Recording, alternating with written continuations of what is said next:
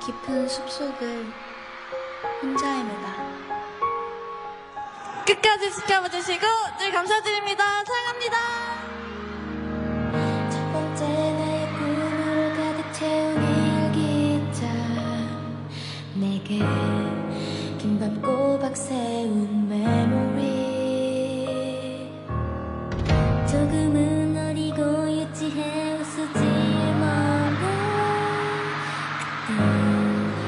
몸도 간절했던 모습들. 조금 힘들지 몰라 울지도 몰라 안될 거라는 시